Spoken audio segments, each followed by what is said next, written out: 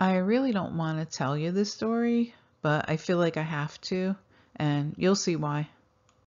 You probably know who John Edward is, the medium who crosses over and communicates with dead people in the spirit world. Well, my friend told me she was going to see him when he came through our town at the Marriott, and so I said, you know what, I'll buy a ticket too, because I was bored, I had nothing else to do, and she had hopes of him communicating with her lost loved ones, but I had no expectations at all. It was just fun for me, but in the back of my mind, I thought, you know, I don't fully believe in this stuff, but it would be kind of cool if my best friend came through that died nine years ago. So, in a room of about 800 people, John Edward pointed to my area of the audience and he said, there's someone with the initial L coming through. She has a very wild personality, and he waves his hands through the air as he says that. And he goes, Yeah, she's someone that was constantly stealing things from other people. She lived a very crazy life and may have been mentally challenged. So, as he was describing my late sister Lorraine in full detail, I was too shocked to actually claim it. My jaw just dropped. And the lady sitting in the chair directly in front of me stood up and said, Yes, yes, yes, to everything he said about her, with no real validation or conviction. As I watched her claim that spirit, I knew it was just because she wanted to. She wanted it to be her message, or maybe she wanted to be in the spotlight, but you can tell it wasn't really ringing with her. And I wanted to say, no, it was my sister Lorraine coming through, but I stayed quiet instead, not to be rude or call that woman out for faking it. I believe I might be what they call an intuitive empath because I get a lot of premonitions, like being forewarned about things that are going to happen and then they happen for example, um, I became a germaphobe like a month before COVID was ever announced, and I was telling everyone, use your hand gel, wash your hands, really be careful of germs. And people were looking at me like I was crazy. And then one month later, COVID was announced for the first time. but I mean, it's kind of good to have that forewarning, but I never really cared to learn about this sixth sense or intuition or whatever it is. I never like tried to develop it further. I believe it was that spiritual connection through John Edward that made me feel the urgency to tell Lorraine's story publicly. I believe that's what she wants. Lorraine was my parents' fourth child, and they were living in the housing projects in Paterson. And my uncle felt bad, so he bought a big house for everyone to move into.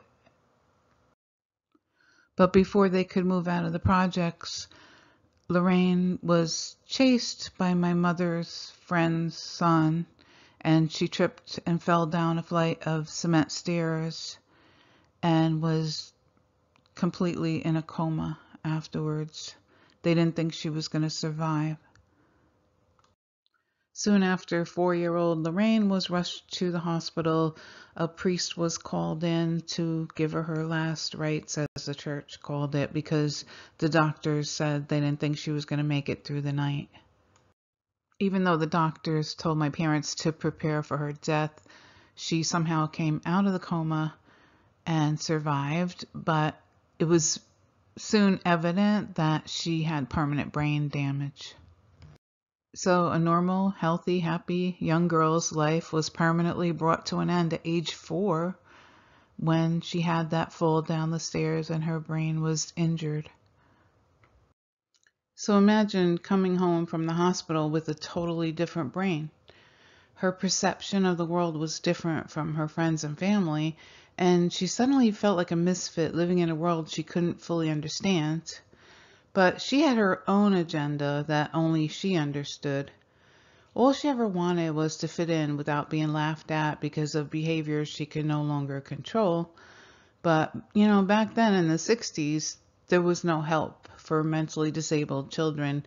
Parents could either commit them to an institution or keep them, and our mother decided to keep her. Caring for seven other siblings, there wasn't enough time left to help Lorraine learn how to live with her damaged brain. And she had to learn to adapt to a different world where people now look at her strange and they run from her because of her brain damage and lack of impulse control and her silly behaviors that people just couldn't understand. Just like other children, Lorraine had dreams too. She wanted to be a ballerina, and my mother wanted her to take dancing lessons. Even though she couldn't be a ballerina, she wanted her to enjoy the fantasy one of her odd behaviors was that she used to smear her feces on the wall with her fingers, like a child finger painting. She had no fear or shame at all, as if that part of her brain was missing. And she would proudly own up to it. Being so young, I saw the poop wall and I had no idea what was wrong with her, only that she was unpredictable. I was a little afraid of her, but, you know, I just took a step back and tried to make sense of it all. I didn't learn about her accident until years later. My aunt told me what happened. So I always wondered what she would have been like if she didn't have that fall. This is a Google Maps photo of the home that we grew up in, and it's still standing. Everything looks exactly the same as it did back then, except the white fence that was not there. So that's me on the right, bundled up in I don't know how many layers because my mother used to overprotect me. And I'm standing next to my sister Barbara, who is, uh, I think, a year older than Lorraine. And that's at the big house my uncle bought for us. I found this photo from 1965. Can you believe it? So there I am on the left. I'm about five years old, and Lorraine is on the right, and she's about 10 years old. Lorraine confided in me one day and told me that she never told anyone else this, but years ago when she was 12, she was walking to the local drugstore to get something for her grandmother, and two men pulled her into a backyard and raped her. She had no idea what was happening to her. She didn't even know what sex was at such a young age. She said that after they were finished, one of the men held a knife to her throat, telling her that he was sorry, but he had to kill her. She begged for her life, promising that she would never tell anyone what happened. And the other guy said, No, don't kill her. And she said the hardest part was laying on the ground and wondering if she was going to live or die or what she even did to deserve this. And then finally, they decided to let her live. I found this old picture. There's Lorraine all the way to the left, and our other sister and brother in the middle, and that's me all the way to the right. Yes, that was my haircut. One day Lorraine asked me if she could go to church with me, so I said sure. But during the church sermon, I couldn't find her anywhere. I asked her later that day where she went, and she said she was in the coat room pickpocketing from all the coats. She thought that was hilariously funny, too. So as Lorraine was transitioning into a young woman, we every day was a new adventure, and we just had to play it by ear, not knowing what to expect from her.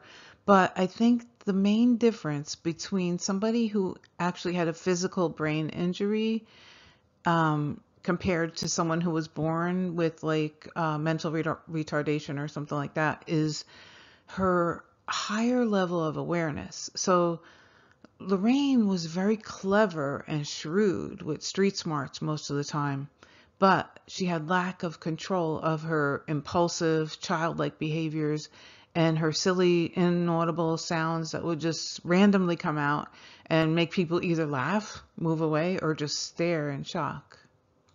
So here's an example of how Lorraine was even smarter than me. When I was 19, I got my first car. It was a 1970 Mustang convertible. And Lorraine said to me, if you let me use your car to just drive a few blocks away, I'll pay to fill up your gas tank. So I said, yeah, right. Haha, funny. so she said, I'll fill your gas tank up first if you don't believe me. So I said, really? Okay, fine. Because it was during the gas shortages in 1979. I was like, all right. So I just knew there had to be a hidden agenda because she was so clever, but I couldn't figure out what it could be because she was filling my gas tank up first. So uh, she actually did fill up my gas tank like she said. And I said, here, here's the keys. Take the car, go where you need to go. So she took the car and she returned it right away with within the hour as she promised. And I thought to myself, wow, no catch. I was really impressed, thinking, well, maybe she really did change. But the next morning I woke up and my car was missing. it was later found in New York City, illegally parked and towed away. I had to pay hundreds to get it back from the towing yard and settle the parking ticket too. Lorraine never tried to deny anything she did wrong. She would always admit to everything and just laugh uncontrollably about what she did. That's why I know for a fact that she was telling the truth when she told the story of what really happened in the Alexander Hamilton Hotel lobby one day. So Lorraine told me what really happened. She said a man was standing with his wallet in his hand, and a woman grabbed his wallet and hit him over the head and ran. When the man got up off the floor, he saw Lorraine standing there and just pointed to her and said she did it. Lorraine said, why would I just be standing around in the lobby if I did that? I saw the woman that did it and she ran away. So if they knew Lorraine, they would have known that she wasn't lying. But the man wanted someone to pay for his pain and humiliation, so Lorraine became the real victim. Lorraine was sent to Rikers Island prison for a crime she did not commit. The thing they didn't realize is that Lorraine would have blatantly admitted to it if she did it because she had no fear or shame whatsoever. I don't remember how much time she spent as an inmate, but she actually escaped Rikers Island prison somehow by hiding on a boat, she told me. I remember being a kid outside of my home one day, and two big men came up to me and asked me if I was Lorraine. And I said no and they said, show me your ID or we're taking you in. I had no idea what was going on. Then my mother came outside of the house and she said, leave my daughter alone. She's only 14. She doesn't have any idea yet. She's not Lorraine. Later, I was told that they were bounty hunters and I was afraid to go outside again for quite a while. Lorraine spent the rest of her years as a fugitive and was never caught by them. So even though Lorraine was hiding out in New York City as a fugitive, she got homesick every now and then and she would come and visit us. So whenever she came home to visit, everyone would nervously hide all their valuables. But that didn't stop her. One day, Lorraine said to me, nice purse. And the next day I found the contents of my purse all over the bedroom floor and the purse was missing. My coat was missing too. Uh, she never tried to hide any of her thievery. She was proud of it, and she would just giggle and laugh uncontrollably like a child when we caught her, except with no fear, shame, or regret. It was like that part of her brain was just missing. So this is why we still loved her no matter what she did, and we tried to understand her better, but we were limited to what we could do to actually help her. All Lorraine ever hoped for was a way to be accepted and blend in. So most people didn't want to be near her because she always seemed to leave some sort of destruction in her path. So she would try so hard to fit in only to be rejected every time. The only time she wasn't rejected was men who found her sexy. So flirting with men was the only way she knew that she could make herself feel wanted. So that's what she learned. She was naturally very quick-witted and knew how to hustle anything she wanted. She once walked up to an old man on a bench and flirted with him with a little lap dance. She then took his eyeglasses off of him and gazed into his eyes. He was giggling and excited by the flirtation until she said, Nice glasses. Then he said, Oh, be careful with them. They cost me $300. And she replied, Well, now they're only going to cost you $20. So the man had to give her $20 to get them back. Only Lorraine could make a hustle look like a bargain. she danced in a New York City go-go bar to escape the bounty hunters in New Jersey. She told me stories about how the bar owner trained her to hustle drinks. She was taught to walk up to a guy after her dance set and say, would you like to buy me a drink? Of course, the guys always said yes to a sexy, half-dressed young woman, So she would sit down with him at a table and he would order a drink for himself and she would order a $500 bottle of champagne for herself, which was really sparkling water poured into an expensive champagne bottle, but the guy didn't know that. When the huge bill came, the guy typically tried to argue it with the manager, but was told that he had no choice but to pay it or be beaten up by the bouncer out back. Clueless men typically fall for this bar scam easily, she told me. The bar manager knows that men will never embarrass themselves by disputing it legally afterwards, so they get away with it every time. She was also encouraged to allow men to buy her shots, but in order to do that 50 times in a night, she was taught to pretend that she was drinking the shot and then chasing it down with a beer. But the beer bottle was a trick because it was really used to spit the shot out into the bottle. She told me that dancers only make part of their money dancing and the other part entertaining privately in the back room. Eventually, she learned that the only way someone with a brain injury could earn enough money to survive on is to sell her own body. One day, someone she met let her try heroin, and she came to visit us that day. And I remember her saying, I tried heroin for the first time and it made me feel like I fit in with everyone else, like magic. She eventually went from pole dancing to being a hooker so she could have her heroin and feel normal, as she claimed. She was known on the streets as Pepsi and never used her real name, even when arrested many times. Underneath her childlike brain emerged a street-smart woman. She refused to allow a pimp into her life, and she chose to be her own manager instead. She didn't need a manager because she was completely fearless. So she went from pole dancing to working the streets at the pier in New York City. Not many people knew her real name on the streets because her street name was Pepsi. I lived a very sheltered life, staying at home mostly because my parents were overprotecting me because of the high crime neighborhood we lived in, but Lorraine told me what real street life was like. Taming Lorraine was something our parents or anyone else could not do. Everyone tried. So eventually Lorraine tested positive for HIV from shared needles and soon after she met a man named Kevin who she fell in love with, and he also was HIV positive. And they ended up getting married. Um, my oldest sister, Elaine, a nurse in Florida, arranged for them to have a wedding and a small reception at her church. I remembered as children, Lorraine used to put a half slip over her head and pretend it was a wedding veil and fantasize about getting married when she got older. A few years later, Lorraine sadly woke up and found Kevin dead next to her. He had died of a heroin overdose. She was now a widow. Lorraine then decided to go to rehab clinics to try and get off of heroin. Like any other addiction, each attempt didn't last, and she tried it with multiple times over the years. She told me that she used to go to Times Square Church every day to pray.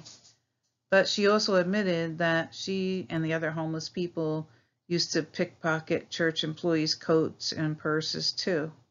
Eventually, the church started offering them food so they wouldn't have to steal anymore. One day, a van pulled up next to Lorraine by the piers in New York City, and three men pulled her into the van and raped her.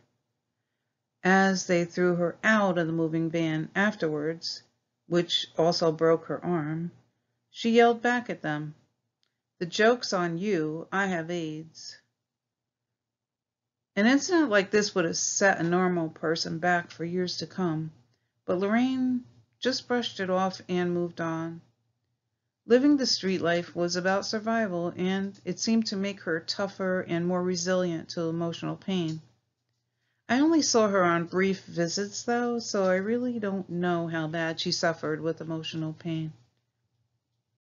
About a year after our father passed away from a stroke, our mother was in the hospital dying of stomach cancer.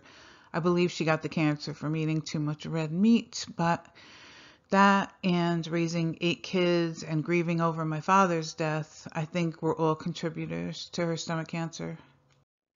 Cancer is a very long and painful death. My mother expressed that her dying wish was to be able to see Lorraine just one last time because she missed her so much. But she knew Lorraine couldn't come to New Jersey. So miraculously, the hospital told my mother that they were full and they had to move her to a hospital in New York. And she was so happy to hear that. Now Lorraine could finally visit her. So Lorraine was able to visit her at hospice in New York a day before she died. And our mother received her dying wish and was able to die more peacefully. Growing up, some of my siblings were embarrassed of Lorraine and they feared that their friends would find out that their sister was a street girl, so they pretended she never existed. They never told their spouses that she existed later in life either, worried that they might be judged. I was not like them. Against their advice, I actually invited Lorraine to my first wedding with 150 guests. I didn't even care if I was going to be judged by my new in laws or anyone else. Lorraine having a great day without feeling bad for not being invited once in her life was more important to me than any judgmental people that didn't know her backstory. I did secretly worry that she might catch the bouquet of flowers and the catcher of the garter would traditionally ride the garter up her leg on video and discover that she had no underwear on under her dress. It was July, so I didn't have to worry that she would go into the coat check room and pickpocket the coats. But I put aside my worries because I knew that being included this day would mean the world to her. She was so honored and excited to be invited to a formal event for the first time in her life and be treated like a normal person. She glowed on the dance floor and danced so gracefully at the reception with a smile while twirling her lacy scarf. I wish I could show you the video of her dancing, but it's on an old VHS videotape somewhere in storage because it was back in 1988. She actually only had one funny moment there. Someone told me that on arrival to the reception hall, the usher told her the wedding venue will be in the Gold Dust Ballroom, and he pointed to the room. And she replied, Okay, but where do I get my filet mignon? She, was excitedly looking forward to the surf and turf dinner because she never had food like that before. Even though the marriage didn't last longer than seven years, and over the years I lost touch with all the people at the reception anyway, I'm so glad I gambled and gave Lorraine the best day of her life. Instead of worry about what others thought of her being my sister, as my other siblings thought I should. Now let me show you the event that got her murdered. Do you remember a story on the news back in 2006 about the bouncer in New York who was accused of raping and killing a college student? Here's the story. Apparently it's still online. Well, I was home one day watching the news and I hear Lorraine House witness for the murder of the college student by the bouncer and I'm like, what? So in this New York Post article, it says a homeless woman who sleeps in the park, that was Lorraine, across from the bar, told police yesterday that she saw the murder victim get into a dark van with Darryl Littlejohn, who was the suspect at that time, early on February 25th. He pulled in around the side and then he went to get her. He put her in slowly. She staggered a little. She had dark hair. He was holding her because she was staggering. Then he drove away really fast, she said. And then it says Lorraine House 50. But underneath it, it says police had not determined if House's account is credible. Well, duh. After Lorraine told the story, she took it back and she said, I really didn't see anything. I just wanted the money that you were offering because I was hungry. When the reporter asked Lorraine if she saw anything and they offered to pay her to tell what she saw, she pretended that she saw the bouncer escort the college student that was raped and murdered into his van. She gave her full name in order to get paid. And I remember asking her on the phone, what was what was all that about? I heard your name on the news. And she told me, oh, I was hungry and the reporter offered me money to say that I saw something, so I did. But then after I told him I really didn't see anything, I was just wanting to eat. So anyway, her false witness testimony was on the TV news and in print and the New York Post with careless mention of her name, her age, and what park she was living in as a homeless woman. And soon after, she was labeled a dry snitch, according to somebody who was helping me wrap up this vlog who happened to know people in that park. And he told me that they went to the park and they offered her some free drugs, which turned out to be bad pills right before she was found dead on a subway train. So shortly after those pills were given to her, she was found dead on a New York City subway train. And because she was dressed in tattered clothes with no jewelry, the city workers assumed that she was just another homeless person that didn't matter to anyone. And they didn't even mention on the news that they found a body on the train. And they didn't make any effort at all to contact her family, even though she had ID on her. So my younger sister Candace wanted to know why she hadn't heard from Lorraine in a while. She was trying to ask around, you know, to see if anyone heard from her, only to find out that she was found dead on a train. And she called everyone to try and find out, well, what did they do with her body and why was it never mentioned on the news? And nobody knew anything. The police said maybe she was buried in Potter's Field where they, where they bury unknown people. And we couldn't understand why our family wasn't even contacted when she had ID in her wallet. So eventually we found out that they just put Lorraine's body in a freezer and forgot about her for months.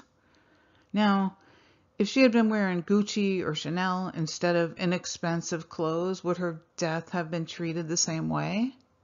Probably not. It would have been at least mentioned on the news that a body was found on the train and maybe they would have even tried to locate her family or even determine the actual cause of her death, but they didn't care.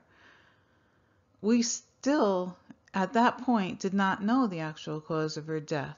We found, well, I found out later, making this vlog, that she was murdered.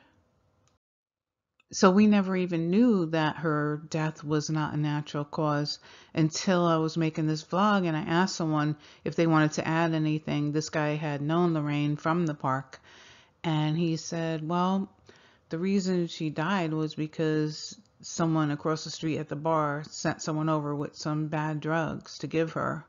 So she couldn't testify since they put her name in the paper and on TV and they actually told them where to find her too. No one will ever care about what caused Lorraine's death because she was homeless. Homeless people are forgotten. But every homeless person has a backstory of how they became homeless. Lorraine had home, but she couldn't return to her home in New Jersey because of the bounty hunter searching for her after escaping Rikers Island prison for a crime she didn't commit all because of that one night in that hotel lobby.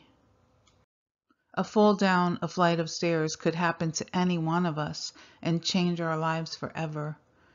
So I always feel blessed for the abilities that were granted to me every single day. In the end, we were able to give Lorraine a proper burial next to our mother in the family plot. Rest in peace, Lorraine.